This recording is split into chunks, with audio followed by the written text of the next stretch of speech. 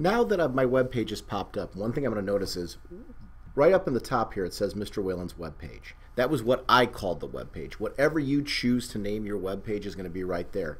That's also a clickable link. When anybody going to your website clicks on that, it'll take them back to this home page that you see right here. And that's true of any site that you make in Google Sites. So if you do something in a little bit of a different format, or if you use the second template that I made that's a lot more like Mr. Brian's, you'll also have that option to be able to click and go back. So now that I've got this page up in front, I want to start editing this so it matches my classroom more instead of just being a generic template. So I'm going to look up at the top here and I've got some tools. The first one is Edit Page, which is the one we're going to be concerned with right now. Then there's a little tool here that's for new page. It looks like a little page with a plus sign in it. When you click on that, that's your spot you're going to go to to add on additional pages for any content that you want to make in the future. Then there's a button here that says More. When you click down on More, the most important thing you're going to want to remind you're, you're going to want to remember to look for here is going to be Edit Site Layout or Manage Site. Both of these are going to be things that will change the appearance of your site later. For right now, we're going to ignore all of the other buttons and just go to the one to edit page. Because I want to take this section that says periods preps and I want to personalize it to my classroom.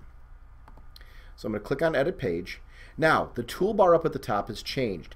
It looks a little bit more like Microsoft Word, for anybody who's familiar with that. Um, the tools are going to be very familiar, insert, format, table, layout, and those do pretty much the same functions that they normally do in Word. And you'll see a lot of the typical like bold, underline, um, left justify, center, and then align right.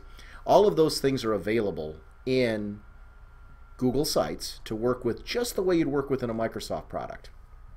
So I'm going to click down here where it says Periods Preps. And what I want to do is, similar to the other pictures that I have here, I want to insert a picture that matches my classroom. For today, I'm pretending I'm a geometry teacher, and I'm just inserting a geometry image. I went and did a search on Google, and I just grabbed the first geometry image that I saw, just for illustration purposes, you can see how you would insert a picture on your own. So I'm going to click Insert. I'm going to scroll down to Image, and I am going to select Choose File, because I'm going to pretend that there's no images in there for right now at the moment. I go into my Picture folder, and I find this one that I have of geometry. And it's going to upload that. And it's going to give me the option to choose that picture. So I'm going to click on that picture. It's highlighted right now. And then I'm going to click OK. Now, when it puts the picture in, it's going to put it in at its original size.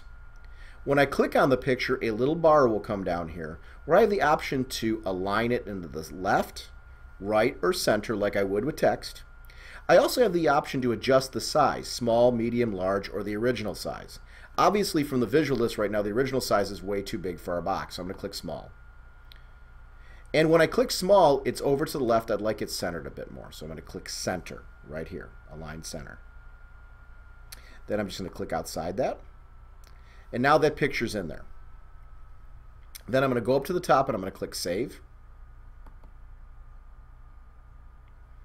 and now that picture's in there.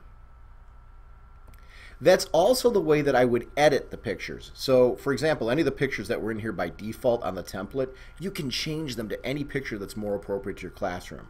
So the section that's marked curriculum, you can change that to any picture that's appropriate for your room. Um, if you don't like any of these pictures, you can adjust them to your own personal style.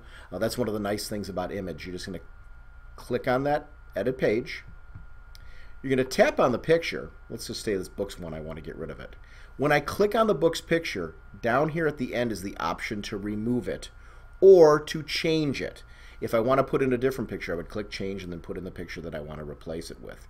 And then if I want the picture out of there altogether, I'm like, I, you know, I just really want the text. I don't want to deal with the pictures. You would just click remove.